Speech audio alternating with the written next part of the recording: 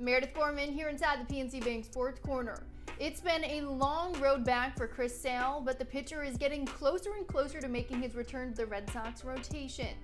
Sale rejoined the Sox at Fenway Park on Thursday after he pitched for the AAA Woo Sox on Wednesday night.